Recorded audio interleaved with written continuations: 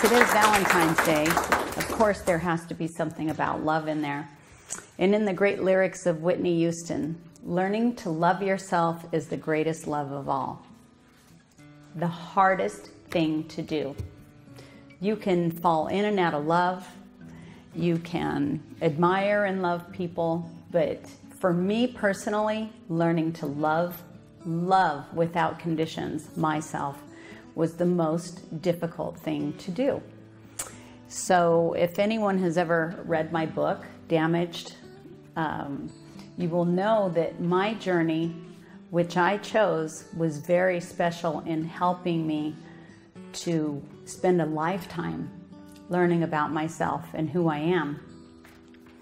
So, first of all, I contemplated this kind of off and on all week, and I've been studying um, the life of the masters and teachers of the Far East. I've been studying the I Am discourses for the last couple weeks while I'm driving around making my deliveries. And, uh, you know, I honestly feel that it's recognizing that we really are God that gives us the ability to love ourselves unconditionally. And that can be the most difficult thing to own. You can say it, you can hear it, and people will tell you. The Bible tells you you're made in the image of God. Why is it the most difficult thing to absorb? Why is it so hard to understand? And that's because of our subconscious mind. We were talking about conscious and subconscious in class on Friday. Throughout our lives, starting at birth, in our childhood, our subconscious is being fed. We are being implanted with the beliefs of others. Our caretakers, our siblings, our teachers, and life teaches us all about their feelings, their emotions, and their truths. And if you're anything like I am, being brought up, you are learned to, you are taught to be respectful of God, um, to never say God's name in vain, to be connected with God in many other different forms, but you are never, I was never taught that I am God. What does that mean you are created in the likeness of God? We don't look anything like each other, do we? But there's something within us, all of us, that connects us. We are God. We are that perfect expression of divinity. That time when you feel so happy and so loving, that's God. How can you not look in the mirror and look past what has been implanted? And see the divine perfection. God, it's so easily said, isn't it? But it's so difficult to do. Everything that we do in our life, the decisions we make, the way we dress, what we say, how we act, is all connected to how somebody else perceives us. Everything. How do we change that and start doing what we need to do for us. What do you need to do for you? We are all a whole, but yet we are extremely individual. Extremely individual. Everything we do affects the whole.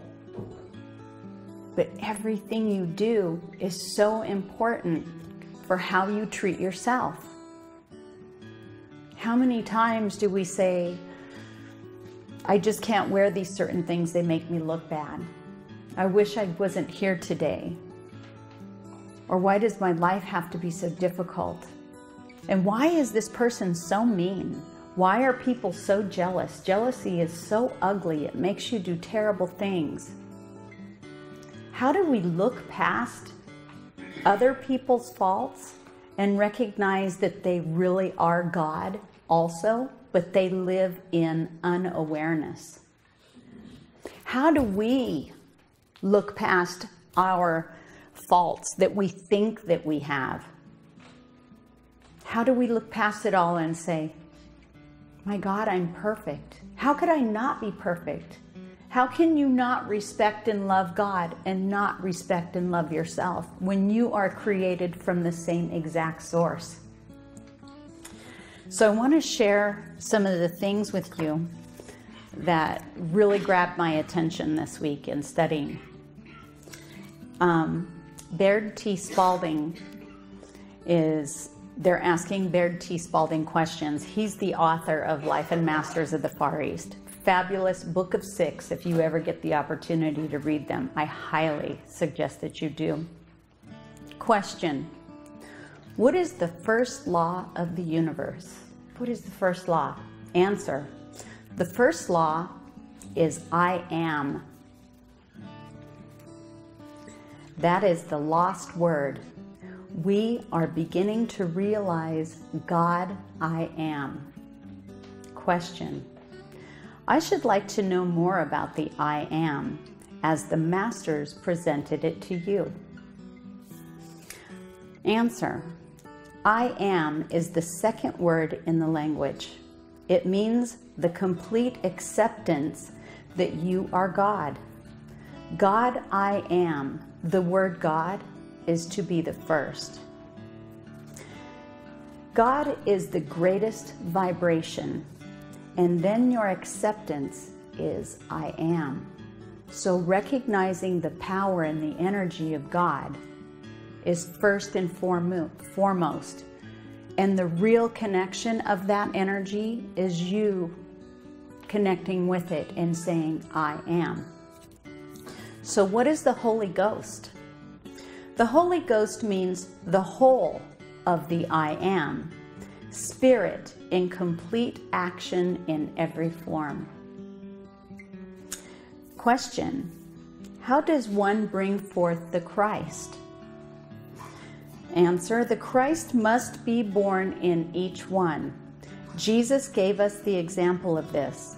You bring forth that which is within you by turning your attention and concentrate concentrating upon that very thing the very thing is that Christ is within you. You are not separated from Christ. Jesus didn't come here to be idolized. He came here to teach you and show you who you really are, what you really are, and how amazing that each and every one of us are. That's why he always referred to us as brothers and sisters, and that we are one. We are one with the Father, and the Father exists within each and every one of us. Question When we wish something that is ours by our divine right, is it okay to demand it? If anything is yours by your divine right, there will be no need to demand it. Our own acceptance of illusions negates the good that we want. When you give expression to the divine nature within you, you will find that whatever you will use at hand. The realization of this permits you to know that the good is accomplished before you express the thought. Then the need will never arise. Be still and know that I am God. So, if you have a hard time understanding that, it's all about what you attract to yourself. What do you want? What do you need? What do you feel you're worth having? Okay?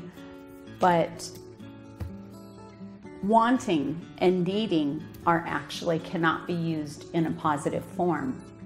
Because if you really feel that you want it or that you need it, then you just get excited about it coming to you and it comes.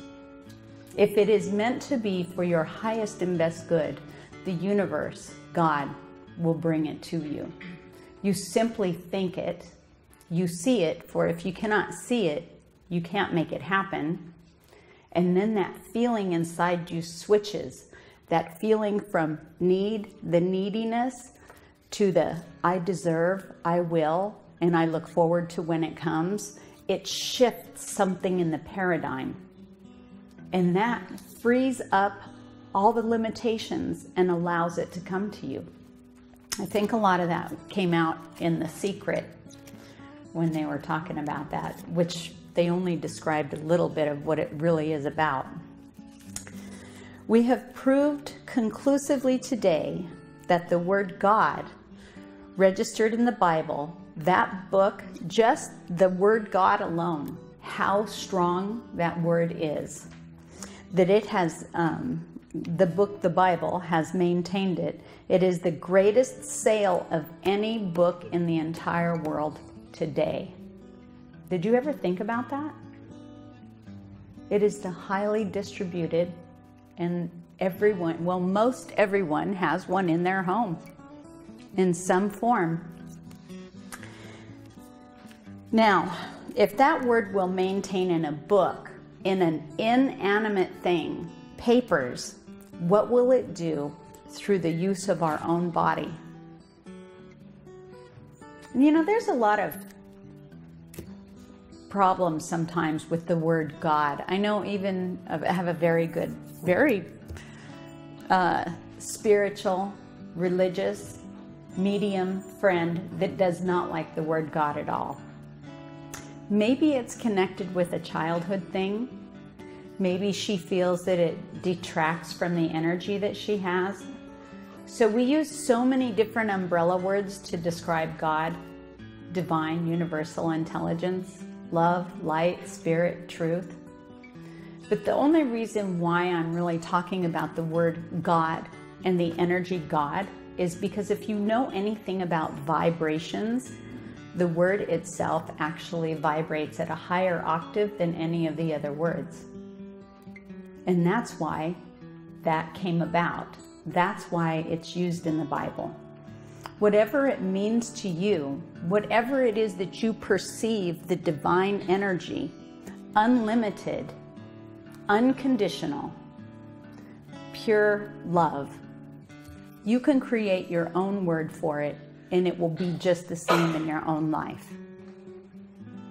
But that is why they chose to use the word God because of its vibratory rate.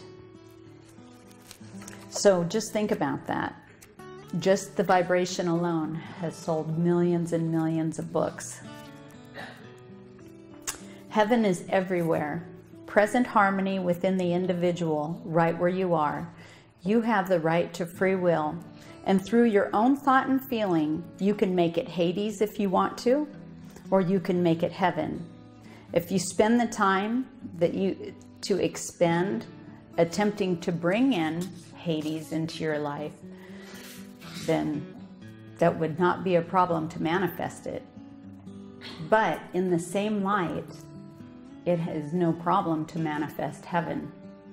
How many people do you know that always complain about, I'm, I'm sick, I don't feel good, or there's always difficulty in my life, I never have enough money to pay my bills? Have you ever noticed that it never changes for them?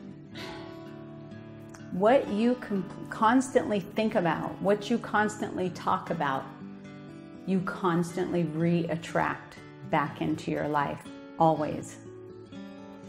So it's really important to be mindful of what you're thinking about, what you're saying, and when you think you're just complaining or voicing your opinion, you're actually bringing things into your world. The moment we say, I want to create a certain condition, then believe it or not, we've actually put up a wall. Because when we say we want to create a condition and we want to release things that we don't do anymore, thinking about what you don't want actually creates what you don't want. So you need to find a way to leave what you don't want, leave what I don't need away, aside, recenter yourself and refocus. This is what I want when you have an illness, when you know someone who's sick, or you yourself have something wrong with you, even in Reiki, they teach you don't focus on the illness, focus on what the healing is after it's complete, whole, perfect, and divine. Do you see how it kind of works the same? in your life and your thinking, as well as it does in the healing. We want to always focus on what we want, not what we don't want. Leave the channels open, leave them clear. What is the greatest expression that brings all things in? I am abundant.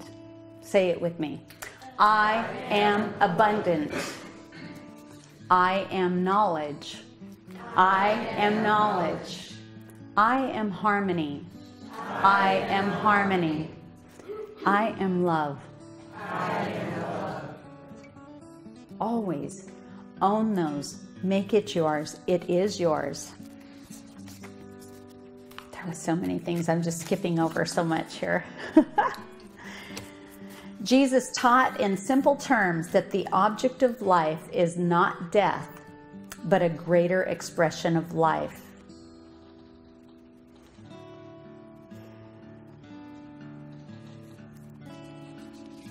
Worship of God with all of our hearts and all of our strength frees us from conditions of limitation no one needs to be isolated. It is possible to realize the sense of union with God's abundance right now. The first determination must be an effort to get rid of individual sense of limitation that we ourselves have built. There are several rather definite steps that must be taken to set ourselves free from limitation. The first one is recognizing that you are God. God is you. We are all creators. We create every single day. When you wake up and say, This is going to be a long day, I'm beat, I don't know if I can do this, you have just created a long day, extra work, and being extra tired. How do you fix it? How do you change it? Change your thinking. You take a breath and you say, I am God. I am that I am, and I am the creator of my day every day. You own it. Can you imagine how amazing this world would be if every child was taught this?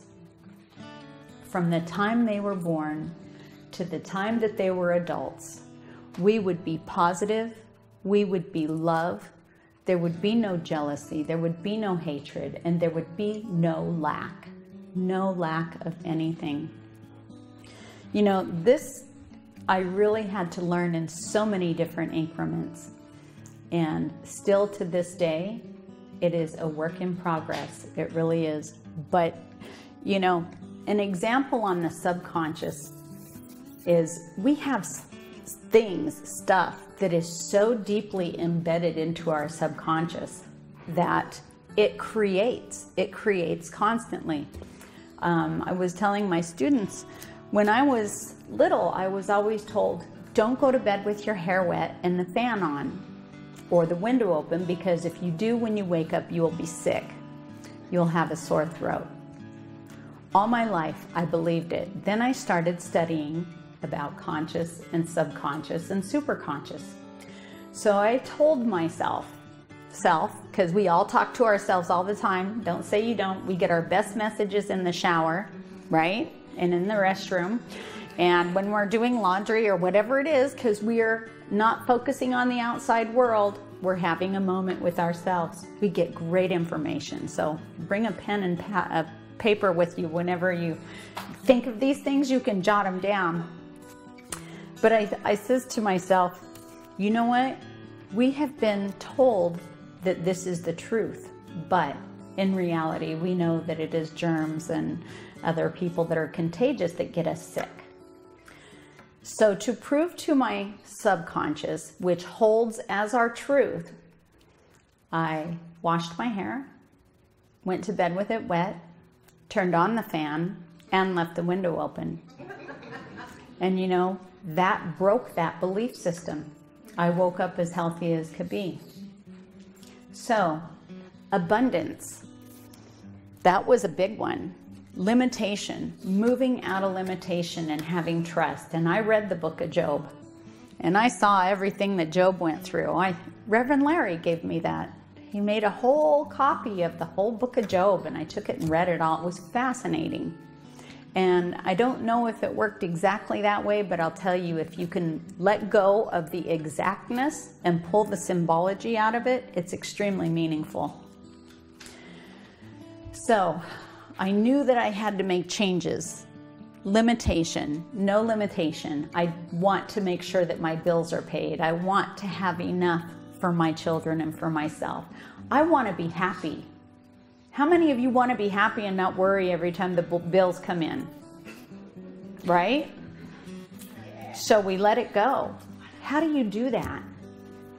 Well, studying the Kybalion and other beliefs like The Secret, Tony Robbins, all of it together has been taught for 2,000 years. Really, they're just reteaching the same exact solid information in different forms for the different times so people can perceive it. Big leap of faith here. Tithing.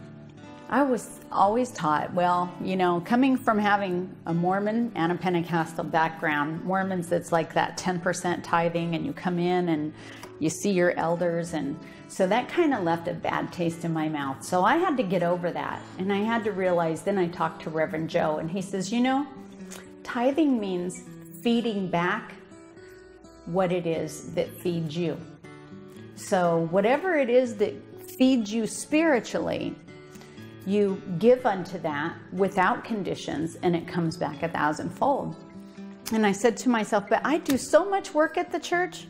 You know, I take care of the yard and I clean and I do this and that. And, um, and he goes, So, do you want somebody to come to your house and clean your house and do your yard? And as because if that's what you're unconditionally putting out, then that's what you're unconditionally attracting. And I says, Wow, I never thought about it like that. And then we had a guy come in and did a lecture on tithing. And he says, You know, it was the hardest thing to do, but you just got to have the faith. Because people hang on. You hang on. You're like, I'm going to hang on to this money. I'm not going to pay all of this because I might need it tomorrow and something is going to come up. And it's okay to be, you know, to be safe, but then I realized if I'm hanging on and I'm afraid to tithe and I'm afraid to give, then that means that I'm afraid. So I'm attracting lack. For some reason, I'm setting up this barrier that I'm not able to receive all that is mine by my own divine right. Each of our own divine right. We are creators. So I says, you know, I'm going to do it. I'm going to start tithing. And that first year was a rough one. You know, I mean, it was rough for me on a financial level, but I did it. And I remembered the book of Job and I thought, you know, this guy's been through everything and he never lost faith in God. So I started tithing. And uh, I think, and Reverend Rosie was here the same time that that guy gave the lecture, and we were kind of talking about it. I was like, Have you ever noticed that every time you tithe, within a week you get it back some way, somehow. So crazy. So I kept doing it and doing it. And even, you know, when you get a lot, like the taxes, and then you have to, you change your thinking. You change your thinking. It's like this. Now, every time I give, I get excited because I know I'm going to get tenfold back. And I'm telling you, in the last two years, God has, re- has rewarded me beyond my hopes and dreams, beyond anything. When I got a job, I, I sat right here and I says, God help me. I work so hard for so little. Please give me something that I can take care of my family so that I don't have to worry, so that everything will be provided for. I had this serious conversation in here all by myself. I went home from work my husband was across the street. He comes over to, to me when I pull up and he goes, Hey, Pete, our neighbor, wants to know if you want a job delivering coffee. And I looked at him and I said, Pardon my language, no shit. I said, Did you tell him I was looking for a job? And he goes, No, he just called me over. And he's he, you know, he receives at a store and somebody else said something and he goes, She would be perfect at that. And when I got my first paycheck, I cried I did. And I looked at my boss and I says, You know, this is the first time in my entire life I've ever been paid my worth. And he's like, Aw. but you know what I honestly believe? I honestly believe that it was my gift from the universe because I never lost my faith. I gave 10% that I ever made, even when it was a lot or nothing at all. And I did it with faith in my heart, knowing that, that I'd be provided for. And so it's easy, though, to fall back into that negative thinking. And I tell myself every time I go to make my tithing, it's all false. Any worry that you ever have about anything, it's fake. That is an illusion. If you're worried about your health, you're going to attract unhealthiness. If you're worried about aging, you're going to attract age. If you're worried about not paying your bills, you're going to always be worried about not being able to have the money to pay for your bills.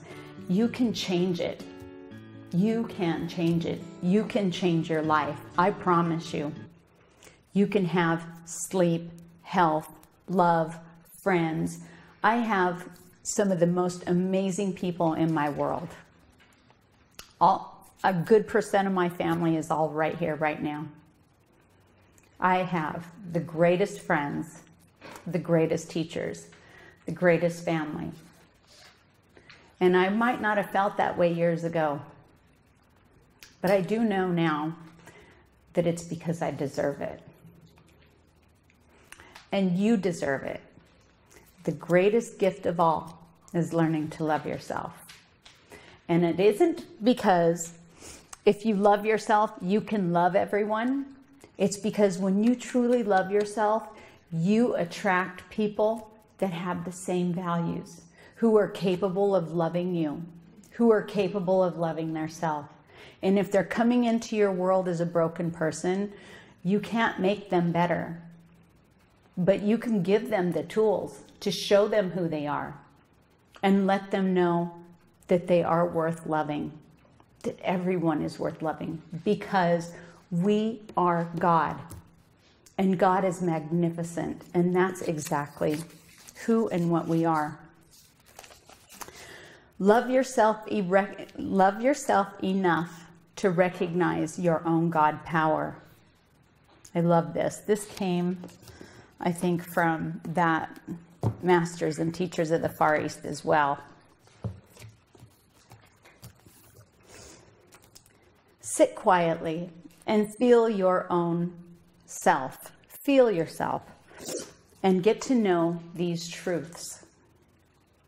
Close your eyes. God, I am. Say this with me God, I am. All we are. All we are. I am divine intelligence. I, divine intelligence. I admit this to myself. I, remove all doubt. I, am divine principle. I am divine love. It flows through me, flows through me to, all the world. to all the world.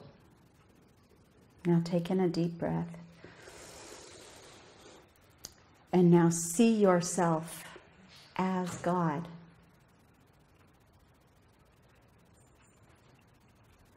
Feel yourself as a divine, loving presence. You can accomplish anything that you set your mind to. The only limitation in your life is that which has been set up by your imagination.